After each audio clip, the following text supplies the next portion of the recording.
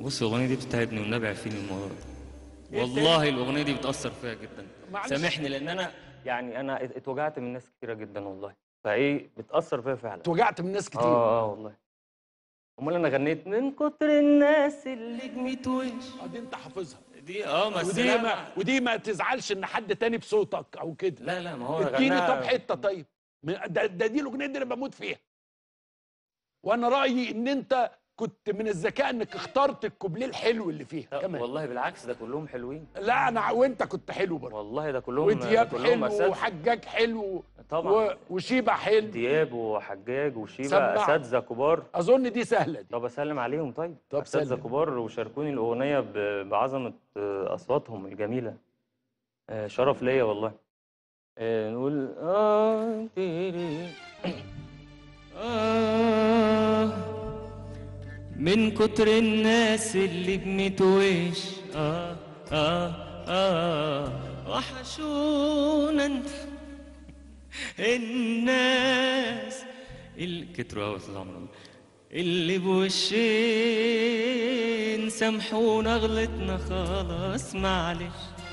آه آه. حرمنا خلاص. إحنا آسفين.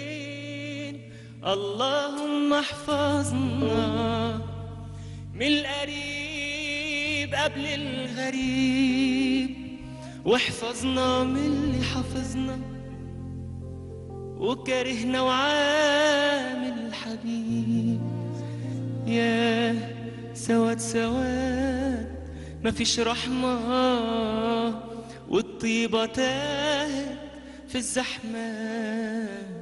حلوة ومرة كنا سوا. قولوا لنا ليه بنشوفكوا في الحلوة وبس.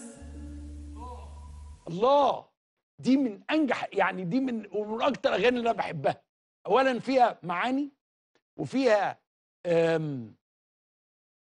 كبير كده. يعني. الناس كلها بتغني مع بعض ومحدش يعني ناس سعيدة كده. الألفة الفنية الجميلة من- النجاح. من تحس إن أنا يعني دخلت ال ال ال الركن الشعبي بالأصوات العظيمة اللي فيه وعملت مشاركة إضافة ليا وبتبقى إضافة ليهم كمان إن هم يخشوا يشتبكوا مع الشكل اللي أنا بغنيه.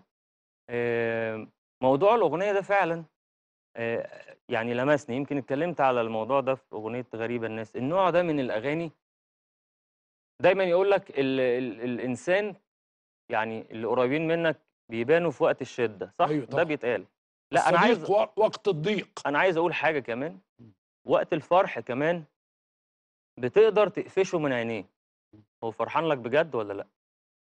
لأنه في ناس ما تقدرش تداري حقدها أو غيرتها فبيبان عليهم. ف... فالموضوع ده يعني مش أنا لوحدي ناس كتير قوي بتمر بيه. الزمن ده صعب الحقيقة يا أستاذ عمرو فعلا صعب. في ناس جنبك جنبك واقفين جنبك كده وبيقولوا لك كل الكلام الحلو وهم جواهم يعني أنت عندك الكلام ده؟ يعني أنت عندك أصدقاء اكتشفت إن هم ب وش و- يعني يعني آه آه طبعا. طبعا. أو لو مش لو مش هتيجي منك مصلحة أنت مش صاحبي. طب ليه؟ يعني ليه؟ إحنا ينفع نبقى أصحاب من غير آه، من غير مصالح. ولو في على فكرة مصلحة أنا يعني هقدمها لك من غير ما تقول. وأكيد ياما عملت معاك حاجات كتيرة بس إنك تحكم عليا بال- بالحتة أنا بقيت صديقك بالحتة. يعني أنا عملت معاك حاجة بقى تمام. لو ما عملتش معاك دلوقتي ابقى أنا مش مش كويس. ف لأ مفردات الصداقة مختلفة زمان عشان كده في الفيلم ده فيلم مش أنا في دور الصديق دور الأستاذ ماجد الكدواني. دور دور مهم جدا. كنت تلاقيه في الأفلام الأبيض وأسود. النوع ده من الصداقة. يعني فكان نفسنا نقول عايزين الروح دي ترجع تاني بين الصحاب.